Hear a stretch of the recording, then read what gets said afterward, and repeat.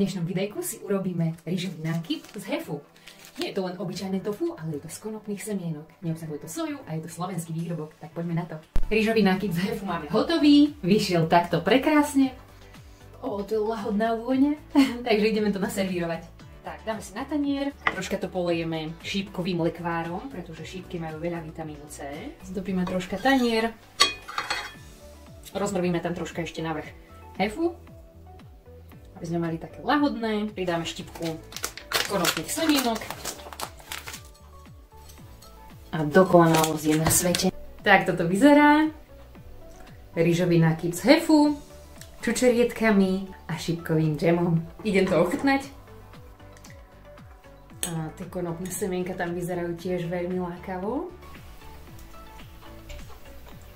Hmm. Ideálne na raňajky posilňuje perfektne slezinu, žlté obličky, ale super si to môžete zobrať aj do roboty, ako takú desiatu. Takže majte sa krásne a viac lenkaslnečková.sk. Ahoj!